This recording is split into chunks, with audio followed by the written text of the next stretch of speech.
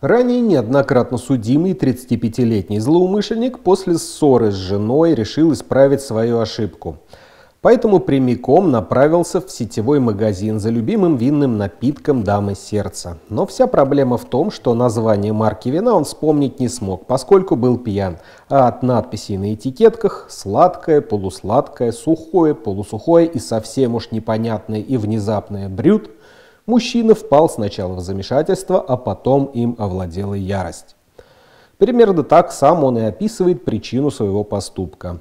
В итоге, схватив с полки универсальный и наиболее знакомый вариант – бутылку Кагора, покупатель направился к кассе, а уже там, взяв с прилавка канцелярские ножницы, стал угрожать ими физической расправой девушке-кассиру – Покинул злоумышленник заведение, так и не расплатившись. По пути домой он случайно разбил бутылку Кагора, а еще чуть позже был задержан полицейскими.